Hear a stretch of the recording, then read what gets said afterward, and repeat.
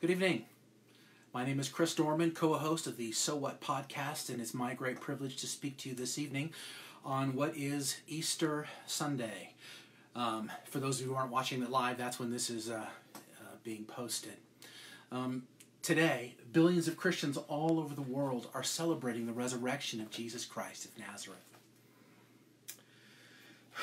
The resurrection of Jesus from the grave is of paramount importance to the Christian faith. In fact, without the resurrection, there is no Christian faith, right? What would we worship? Who would we worship? Why would we worship a dead Savior? Before I was a Christian, like a lot of people, I had questions, many, many questions, doubts, things about Christianity which didn't make sense to me, and one of them was the resurrection. And my friend Adam, who led me to Christ, we talked about it. And I remember one point we went through the various theories about the body being stolen and this and that. And, and he said, Look, he said, Chris, look, if you show me the bones of Jesus of Nazareth, he says, I'm done. I'll walk away from the faith immediately because if Jesus is dead, then I'm living a lie. I'm believing a lie. I'm worshiping a lie. My life is a lie.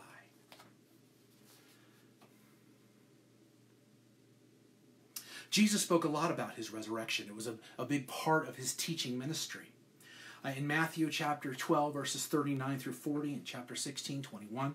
In the Gospel of John, chapter 2, verses 18 to 22, chapter 10, verses 17 and 18, for example. In fact, Jesus spoke about his resurrection with such frequency that even his enemies, even his enemies were aware of this teaching.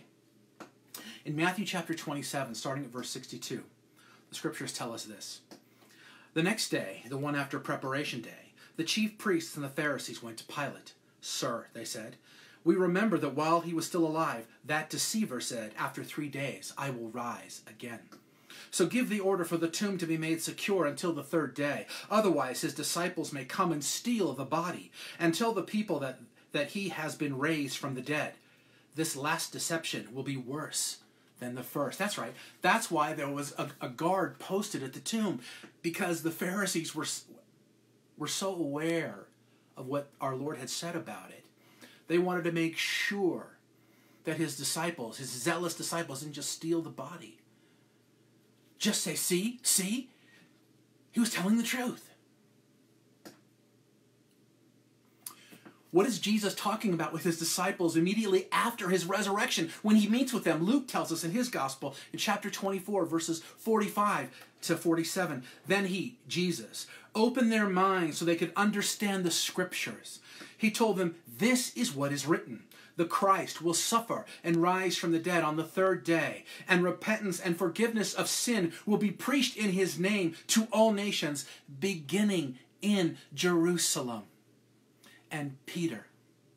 In obedience to his Lord, in his first recorded sermon in the book of Acts, what is he talking about? In Acts chapter 2, what is Peter talking about? What is he preaching about? The resurrected Christ. The resurrected Christ. Men of Israel, he said, listen to this. Jesus of Nazareth was a man accredited by God to you by miracles, wonders, and signs, which God did among you through him, as you yourselves know. In other words, you were witnesses. You saw what he did. I'm not telling you something you don't know, that you didn't see with your own eyes.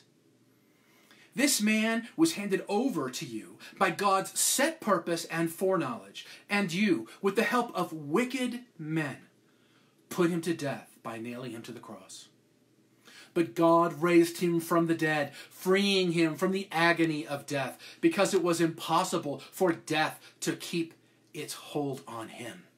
David said about him, I saw the Lord always before me. Because he is at my right hand, I will not be shaken. Therefore, my heart is glad and my tongue rejoices. My body also will live in hope because you will not abandon me to the grave, nor will you let your Holy One, Jesus, see decay.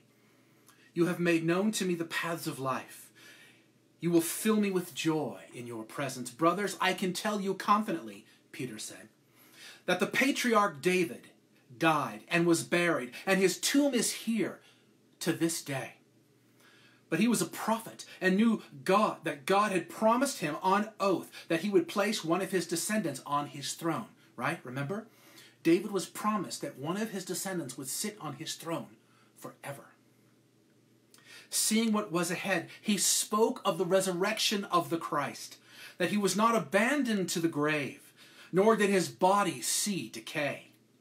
God has raised this Jesus to life, and we are all witnesses of this fact. And he goes on and on. What happens? 3,000 people come to faith, primarily on this testimony of the miracle of the resurrection. And what does the Apostle Paul tell us? Is of primary importance, of utmost importance, of chief importance. If, if you forget everything else, remember this. What does Paul say that is? In 1 Corinthians 15, verses 1 to 4. Now, brothers, I want to remind you of the gospel I preached to you, which you received and on which you have taken your stand. By this gospel you are saved, if you hold firmly to the word I preached to you. Otherwise, you have believed in vain. Now, what is this gospel? For what I received, I passed on to you as of first importance that Christ died for your sins according to the Scriptures, that he was buried, that he was raised on the third day according to the Scriptures. Paul goes on to say in that same chapter, 1 Corinthians 15, that if Christ has not been raised, what? Paul says that his preaching is futile. It's a waste of time. He says that it's useless, and he says to the church in Corinth, so is your faith. For if the dead are not raised, then Christ has not been raised either. And if Christ has not been raised, your faith is futile. You are still in your sins. If only for this life we have hope in Christ, we are to be pitied more than all men. 1 Corinthians 15, verses 14 and 19. James Montgomery Boice said this about the resurrection. He said, The resurrection is the historical base upon which all other Christian doctrines are built and before which all honest doubt must falter. The resurrection is the historical base upon which all other Christian doctrines are built and before which all honest doubt must falter. So, if the resurrection is so important, and beloved, I trust that you'll agree with me, the resurrection is just that important then why didn't Mark in his gospel write about it? Huh? What, what are you saying? Last week I started talking about the sovereignty of God, and I had every intention of talking about the sovereignty of God again tonight. On Friday, I spoke with Don, and he said, You know, Chris, I really think that instead of doing a So What podcast on Saturday, that we should both just meditate on the resurrection. We should meditate on the Word and pray and really seek Him for what we should speak about on Sunday. I said, okay, but I knew pretty much what I was going to do. I was going to talk about the sovereignty of God. Then I talked to my wife and told her what my plan was to talk about the sovereignty of God. And she said, You're not going to talk about Easter? And uh, of course, she was a little flummoxed with me, which is nothing new. and she said, essentially, because it was Easter, I had to talk about the resurrection. So when I went to bed Friday evening, I had a lot of things going through my head. One being my concern about switching gears, because um, I'm kind of a, a methodical person, and when I get something in my head, I want to see it through. And I started talking about the sovereignty of God, so I thought that should continue. But I have I've got to listen to the counsel of my wife and Don, and, and Lord, what do you want me to do? Well, as I was lying in bed, praying and contemplating what I should do, of, of all things, a movie scene came into my head. A movie scene, a scene from the movie Ocean's Eleven. Now, I don't know if you know that movie or not. How many, how many of you are familiar with that movie? For those who have never seen it, it's a, a couple of guys uh, decide that they want to rob three different Las Vegas casinos. And they gather a, a group of thieves together to pull off this big heist. It's a big deal. It's really dangerous. There's a lot going on, a lot of complexity, a lot of things go wrong. Brad Pitt was one of the ringleaders. And his character's name is Rusty. He's talking to one of the other characters who's played by Matt Damon. His name his character's name is Linus in this. And he's really young and he's really inexperienced and he's really nervous and he's got this really important part to play in this scam. And so Brad Pitt's character is talking to him about what he has to do to pull this off. Let me just play this for you. Let me see if this, let me see if this will play. Come on. Like, whatever you do, don't, under any circumstance. Russ, Yeah, can you take a look at this? sure. So I'm going to post that to the So What Facebook page, the entire clip, so you can see it. So he goes on and on for, for several seconds telling him, don't do this, don't do that, do this, don't do that. And then at the penultimate moment, he says, now, no matter what, no matter what you do, be careful, don't ever do, and then he's interrupted. And he never gets back to it. And so Matt Damon is just sitting there going, oh my gosh, what is it? What is this thing that I can't do? What does this have to do with Easter? As I contemplated the meaning of that movie scene, one Bible verse came to mind. One. Mark 16, verse 8. And it is this verse that I want to talk to you about tonight. What is Mark 16, 8? Trembling and bewildered, the women went out and fled from the tomb. They said nothing to anyone because they were afraid. Mark 16, verse 8. No resurrection. An empty tomb, yes, but they didn't know what it meant. The women didn't know what it meant. There was, at this point, no miracle. Just an empty tomb and some confused, frightened women who had no idea why the tomb was empty. Now, how many of you have that verse underlined in your Bible? Mark 16, verse 8. Probably not very many. I know I do not. As far as I know, all modern translations have this kind of language in them. I'm just going to show you my Bible. Right here. I don't know if you can see that. Right there. This is Mark 16, verses 9 through 20. This little statement prefaces those verses, okay? And it says this. Need the glasses for this. The most reliable early manuscripts and other ancient witnesses do not have Mark 16, 9 through 20. In other words, the last verse in Mark's gospel is trembling and bewildered. The women went out and fled from the tomb. They said nothing to anyone because they were afraid. Now, you know in your Bible, you probably have those verses 16, 9 through 20. And as I said, most modern translations have them marked off in some way. The reason is simple because in the earliest and the most historically reliable manuscripts we have, those verses are not there. That's right, they're not there. Those verses were not part of Mark's gospel. Mark did not write them. They were a later addition. There's no reference to those verses until in the mid 6th century, and Irenaeus talks about them. Did you know that not only is there no mention of those verses, verses 9 through 20, did you know that there are two other alternate versions of Mark's gospel? Yes, there's one that's shorter and there's one that's longer that we have manuscript evidence for, but they're later manuscripts and it's clear, it's absolutely clear that these are additions, that these were not original to the text. So, in other words, there are three different endings to Mark's gospel after verse 8. So, what does this all mean? Well, without going into the reasons for it, without going into the reasons why people thought at a very early stage something was missing from Mark's gospel, it means this that Mark's gospel, as far as we know, there could have been a page that was lost or something like that, absolutely true. But what, what we can say with certainty is that Mark's gospel ends at Mark 16, verse 8, and verses 9 through 20 do not belong in the Word. They're not authoritative, they are not the Word of God.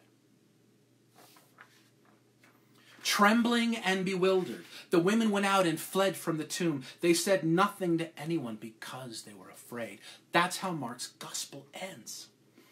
Kind of like that scene from the movie, right? Something of critical importance is missing. John MacArthur says this about verses 9 through 20 of chapter 16 of Mark's Gospel. The earliest and most important New Testament manuscripts do not contain this section.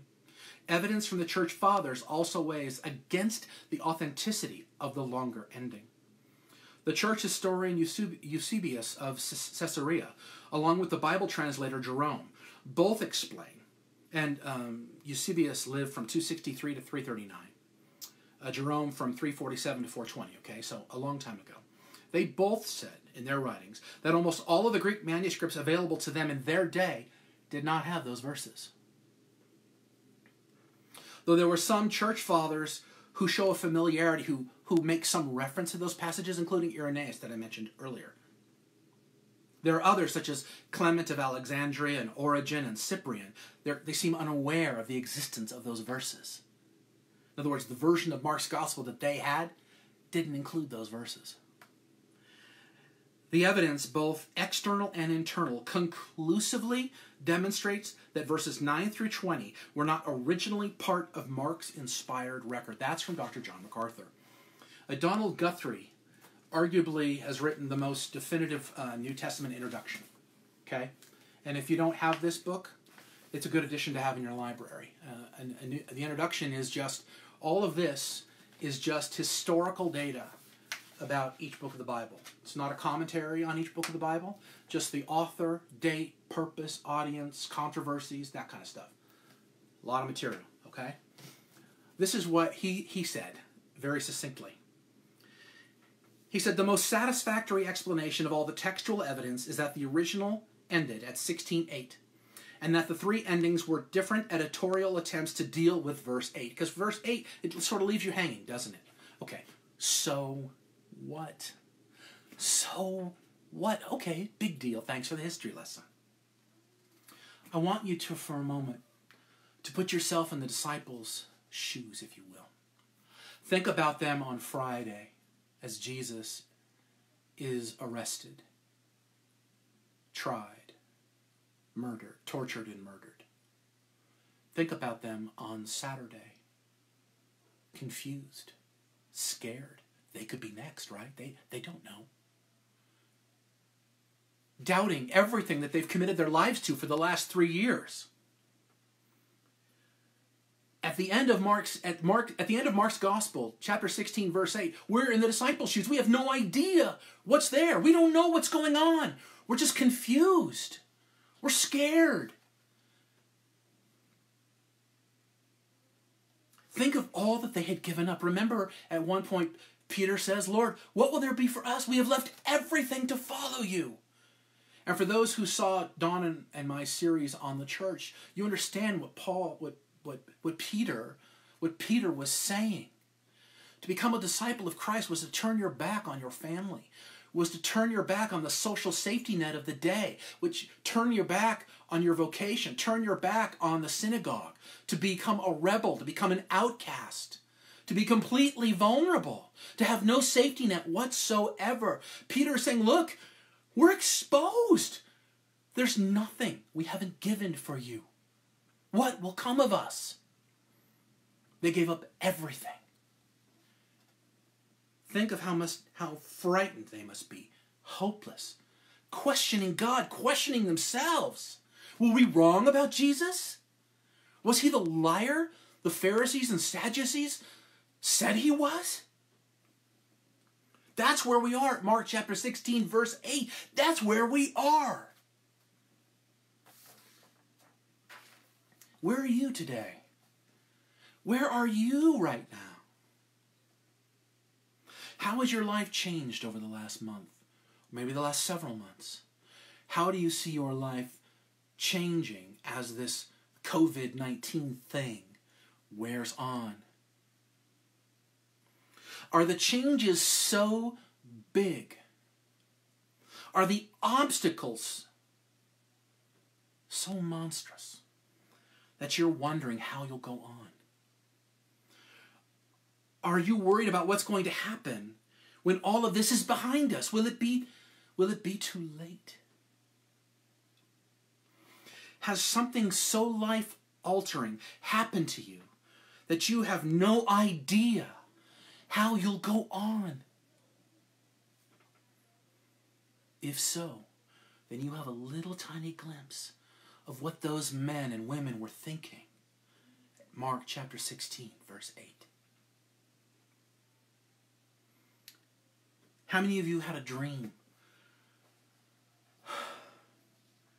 that you held dear that's been crushed? And you've cried out in angst and confusion, God, why? What is going on? What are you doing, Lord? All I was trying to do was be faithful to the vision and the call that you've put on my life. Why? What is going on? Have you ever experienced that? Are you experiencing that now? Or are you fearful that within a short period of time, if things don't change, you soon will be? When I met Pastor Bob, I was a young man. I was 23 years old, I think, 23 or 24, okay? I'm 55 now. I'm going to be 56 in July. I've known Pastor Bob a long time. And at that time, I was uh, getting ready to enroll in law school. I was going to become a lawyer. And that was that wasn't necessarily what I wanted to do, but I thought that's what God wanted me to do. I worked in a law office. I was I had the aptitude for it. I understood it. I had all the things in place. I'd taken the LSAT. I got the score I needed. I was all ready for admission. And then I started hanging out with Pastor Bob and I started studying the Word of God more. And a spark and then a flame was kindled in my heart and in my spirit. And I realized all I wanted to do was to teach and preach the Word of God.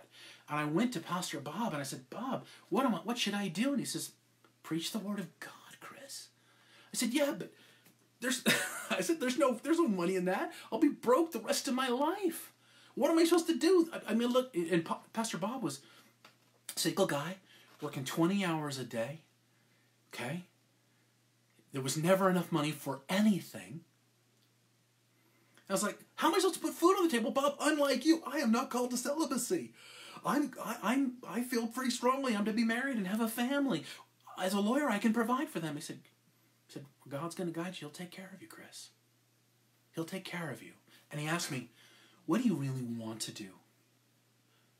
I said, does that matter?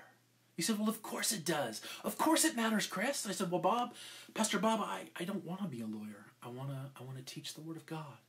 He said, Chris, then that's what you should do.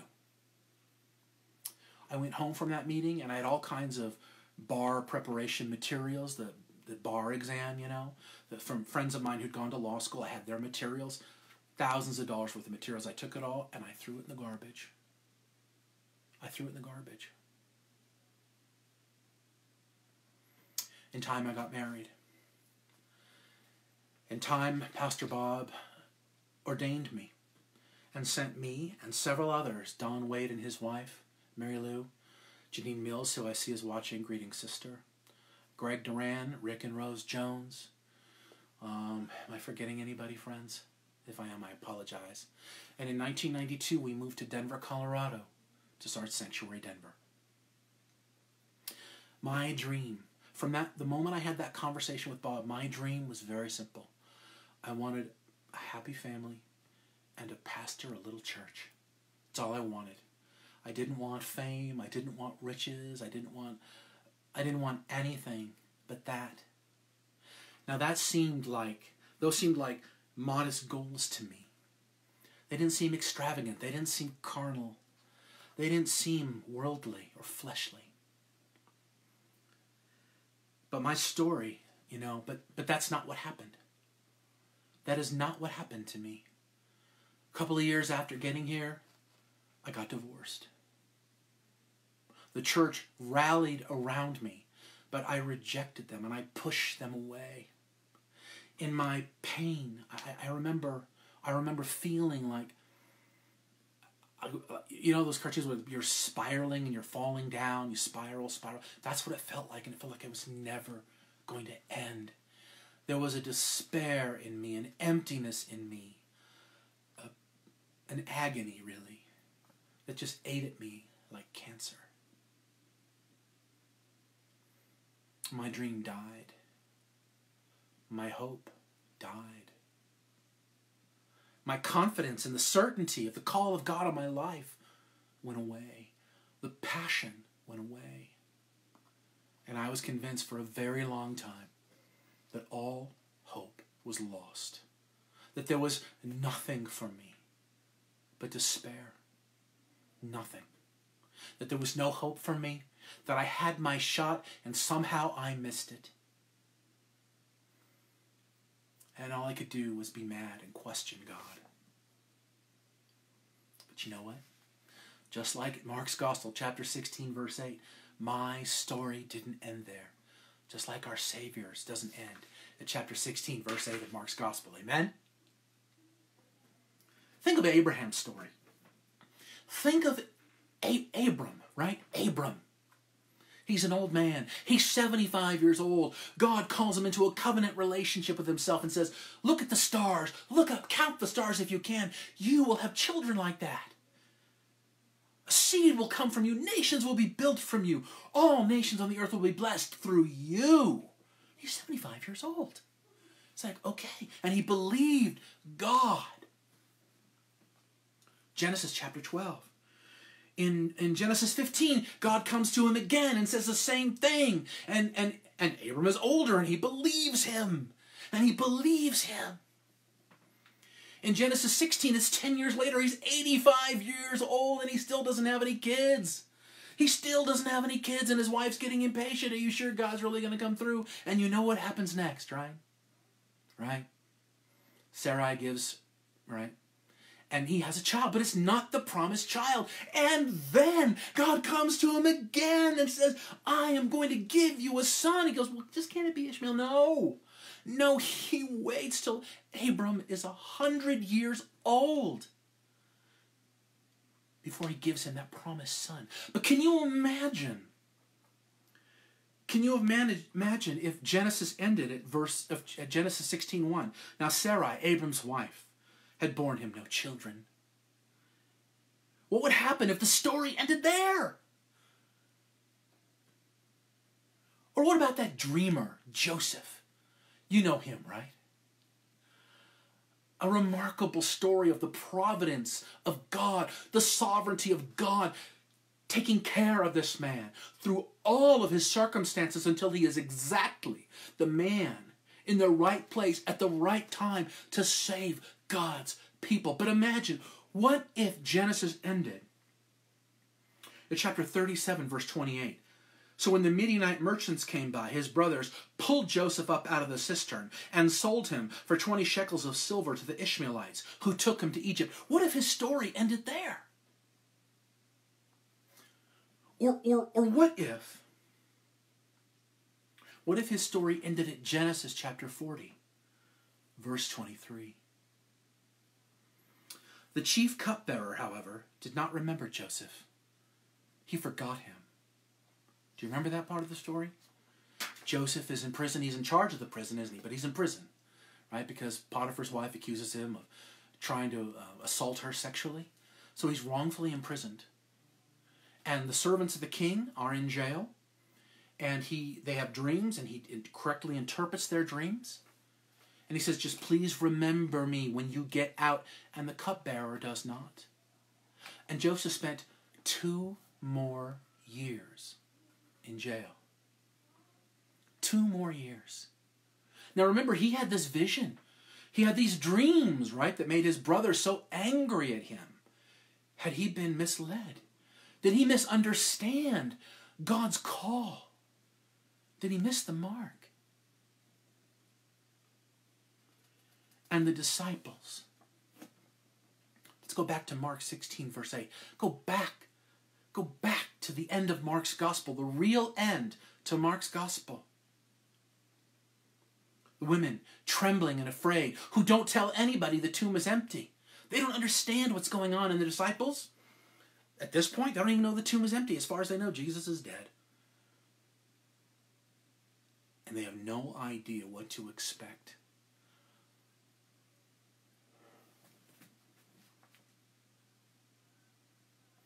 Jesus,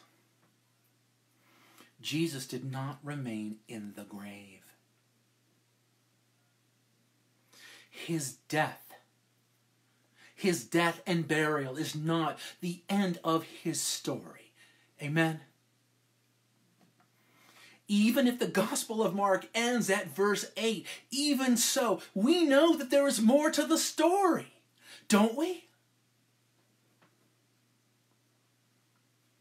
And as hard as it may seem to believe, as, as difficult a time as you might be having right now, I want you to know that COVID 19 does not have to be the end of your story.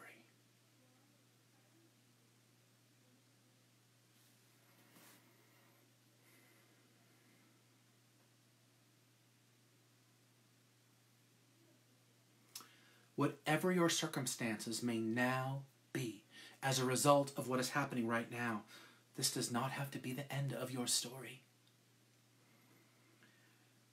Do you believe that? Do you believe that? In my time of crisis, I faltered. I doubted. When, when my dreams died, when hope in what I could see was gone, I really, for all practical purposes, gave up. I gave up. And so I set myself on a path of despair, of such needless suffering. Because in that moment of crisis, in that crucible, I said, God, I will not trust you now. Beloved, do not follow in my footsteps.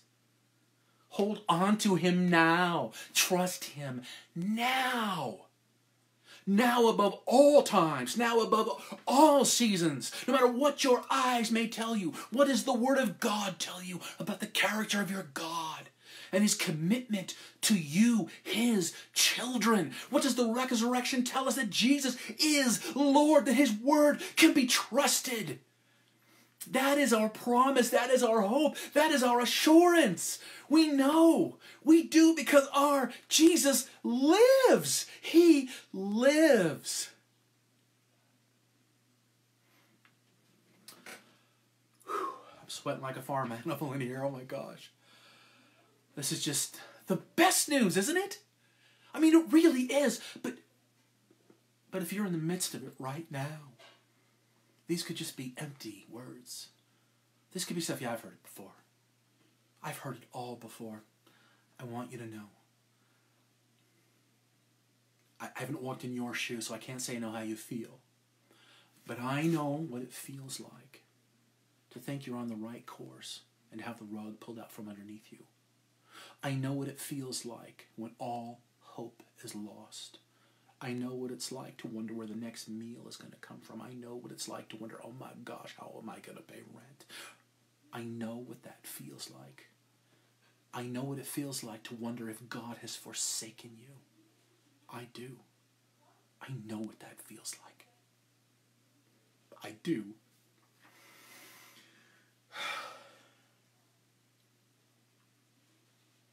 This does not have to be the end of your story. It wasn't the end of mine. It was a glorious beginning. I couldn't see it at the time. I didn't know. I didn't have any idea. All I could see was what was in front of me, and what was in front of me was death, was destruction, was despair, was loneliness. It was not the end of my story, and this does not have to be the end of yours. Do you believe that? the God who made you, who called you out of your captivity in sin, who sent his son to die a criminal's death for your sin, who was raised to life for your justification, Paul tells us in Romans. And he brought you into a saving relationship with his son, Jesus Christ. He has committed to you that everything, absolutely everything, works for your good. Do you believe that? I didn't. I didn't for a long time. I really didn't. I came across this. One of my favorite authors, A.W. Pink. This is a little booklet, little tiny thing, called Comfort for Christians. I'm going to read you an excerpt from this book. He's talking about Romans chapter 8. You know the verse. All things work together. They not only operate, they cooperate. They all act in perfect concert, though none but the anointed ear can catch the strains of their harmony. All things work together, not singly, but conjointly, as attending causes and mutual helps. That is why afflictions seldom come one at a time. Listen to this, my friends.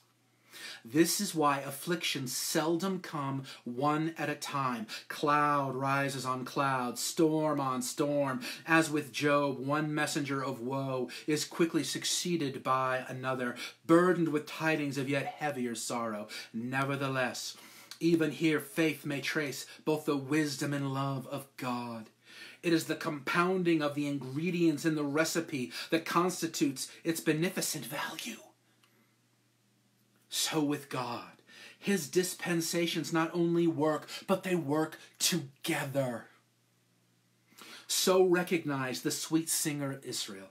He drew me out of many waters. Psalm 18, verse 16. All things work together for good. These words teach believers that no matter what the number, nor how overwhelming the character of adverse circumstances, they are all helping to lead them into the possession of their inheritance in heaven. How wonderful the providence of God is in overruling the most disorderly things and in turning to our good things that in themselves are most pernicious, like this virus. We marvel at his mighty power that holds the heavenly bodies in their orbits and at the continually recurring seasons and the renewal of the earth. But this is not nearly so marvelous as his bringing good out of evil in all the complicated occurrences of human life and making even the power and malice of Satan's destructive works to minister good for his children. All things work together for good. This must be so for three reasons. First, because all things are under the absolute control of the governor of the universe. That's what we started talking about last week. The sovereignty of God. First, because all things are under the absolute control of the governor of the universe. Second, because God desire, desires our good and nothing but our good. Let me tell you that again. Because God desires our good and only our good. That's what his word says. I didn't believe it when I needed to most. What about you? What about you right now? Do you believe that? If you're wondering, can God do this? Yes. How do we know? The resurrected Christ. The resurrected, the resurrected Christ. All God's promises are amen in Jesus.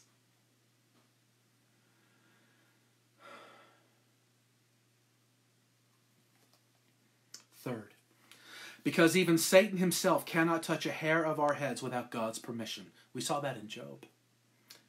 And then only for our further good. Not all things are good in themselves or in their tendencies, but God makes all things work for our good. Nothing enters our life by blind chance, nor are there any accidents. Everything is being moved by God with His end in view our good. Yes, everything, even this right now, as difficult as it may be, even this right now. The subservience of everything to God's eternal purpose works blessing to those marked out for conformity to the image of the firstborn. Who is that? Christians. Marked out for conformity to the firstborn. Jesus. That's you. That's me. If you are in Christ. All suffering sorrow, and loss are used by our Father to minister to the benefit of His children. That's what the Word of God tells us. And that's, beloved, something we must hold on to at all times, especially now. Right now, if you are experiencing trials that you have never known before, or maybe you've been stuck for a really, really long time and you're wondering, how can I trust this God? How can I believe in this God? Because our Lord Jesus lives. Because our Lord Jesus lives.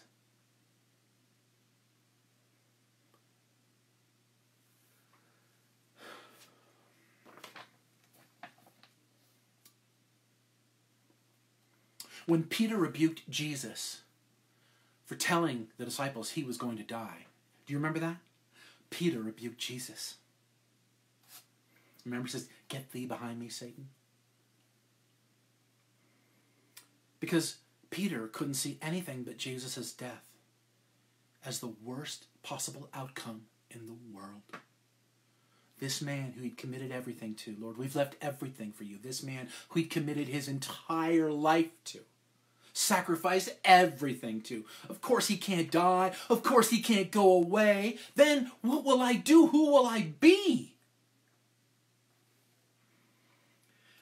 Remember what Jesus said about his death, the disciples, in John chapter what, 16, verse 7?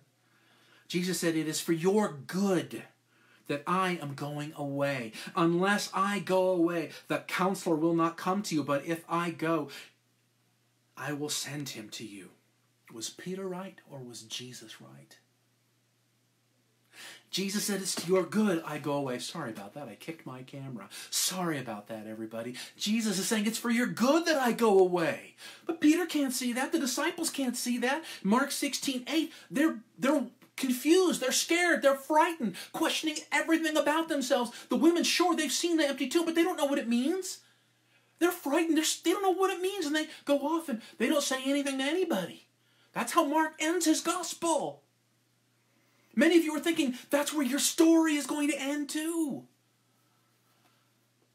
But we know there's more. We know there is more. Who are you going to listen to now about your circumstances? Are you going to listen to your flesh? Are you going to listen to the enemy? Or are you going to listen to the Word of God? Are you going to listen to your fear? Are you going to listen to your anxiety? Are you going to listen to your pain as I did? Or are you going to listen to God and His Word? Jesus is risen. Hope from hopelessness. Life from death. Our Lord didn't stay in the grave. His death was not the end, but a beginning. And beloved, as difficult as your circumstances may be, hear me. Hear me. This could be your beginning. The beginning of the rest of your life in Christ. This could be it right now. Don't be like me. Don't doubt. Don't falter now. Believe Him. Trust Him now. And you, you can have a resurrection experience as I did when He finally brought me back to Himself and brought me to my knees in forgiveness and with a heart of gratitude.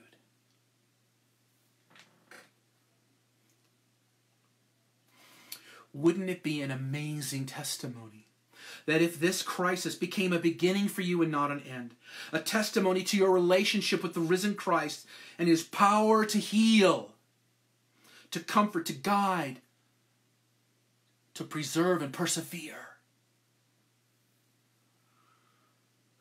A God worth trusting with absolutely everything when everything tells you not to.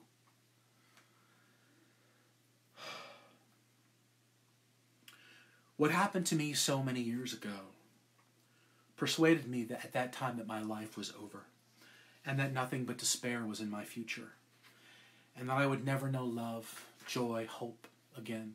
That I would never have an opportunity to do what I love most, which is what I'm doing right now. Yeah. This is what I love. This is what I I get so much joy and satisfaction from. Talking to you about the Word of God. I thought I would never get to do that again. I guess I was wrong, wasn't I? Why had I given up hope? because I put my heart and my mind on my circumstances, and not the God who was sovereign in and over and through all my circumstances and yours too, beloved. The choice really is yours. It really, truly is. Will you walk by faith or by sight? This is what we talked about last week, isn't it? There are moments in our lives that we can look back on and we can see that was an important moment. And by God's grace, I got it right, or I didn't. I can look back on those moments. I'm 55 years old. I, as you get older, and you have more life behind you than in front of you, because you've lived longer, you've made a lot more mistakes. And so hopefully you've learned from those mistakes. Thank you, Dan. I appreciate that. Thank you, Chris. I was wrong. I was wrong. Hallelujah. Thank you, God. I was wrong. I was wrong. But where did I go wrong? By doubting God's word.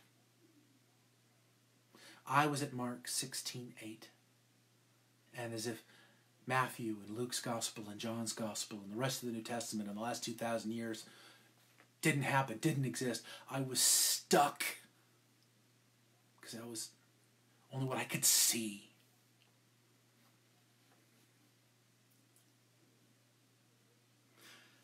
Again, the choice is really yours. Will you walk by faith or walk by sight?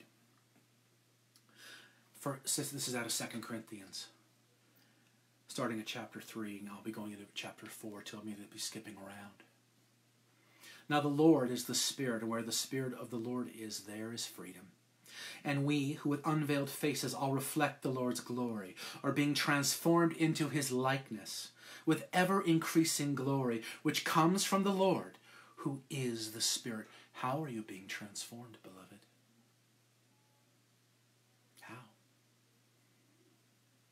Through your circumstances, through the good things and the not so good things, the difficult things, the painful things, the joyous things. That's how you're being transformed. Will you abide in Christ when everything tells you not to? But we have this treasure in jars of clay to show that this all surpassing power is from God and not from us. Amen, everybody? We are hard pressed on every side. Are you? Are you? Are you feeling that pressure right now? Economic, economic pressures, relational pressures, spiritual pressures. Are you feeling those right now? Paul says we are hard pressed on every side, but we are not crushed. We're perplexed, we're confused, we wonder what is going on, but we don't despair because we know the God who's behind everything. We're persecuted, but we're not abandoned. We're persecuted, but we're not abandoned. Your God is with you. Your Savior lives. We are struck down, but not destroyed. This could be a time when you're going to get knocked down. Maybe it's already happened. What are you going to do? What are you going to do? One of the worst drugs is self pity. And I say that from someone who who drank it in, who just lived on it. Oh, you don't know what my dreams were. You don't know what God did to me. You don't know the things that I felt. You don't know the despair that I've experienced. You don't know the hopelessness that I feel. You don't know the things that I have lost. Thank you, Jesus, for rescuing me from myself.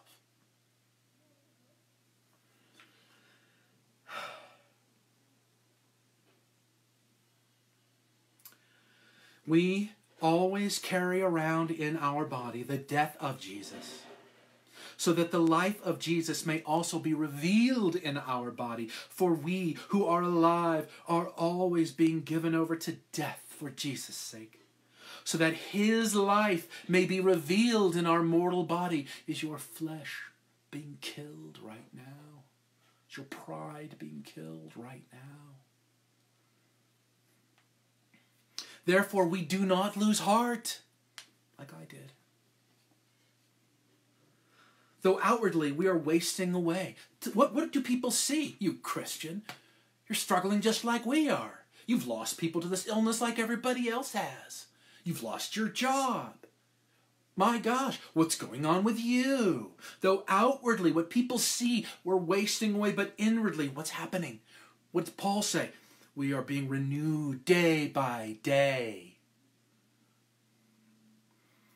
For our light and momentary troubles. Don used this verse in his discussion today. For our light and momentary troubles are achieving for us an eternal glory that far outweighs them all. So we fix our eyes not on what is seen, but on what is unseen. For what is seen is temporary but what is unseen is eternal. What you see is temporary. Don't let it get your heart and mind off the eternal.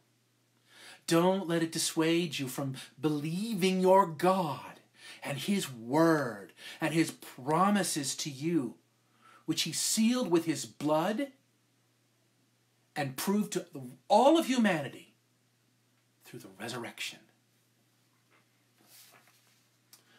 And in Philippians chapter 1 verse 20, I eagerly expect and hope that I will in no way be ashamed, but will have sufficient courage so that now, as always, Christ will be exalted in my body, whether by life or by death. That's right. That's right. Can we exalt Christ in our death. We can by trusting and worshiping that God. That God who has been so good to us. That God that has saved us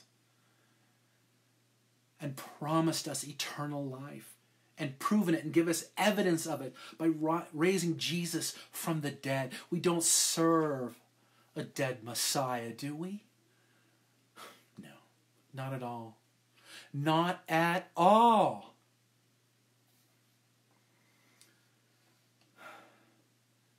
Mark 16, verse 8. While that was the end of Mark's gospel, we know that that is not the end of Jesus' story. This virus, or whatever else seems to cloud your current circumstances, does not have to be the end of yours either. Listen, it does not have to be whether in life or with as much compassion as I can say, whether in death. Happy Easter to all God's people everywhere. He is risen.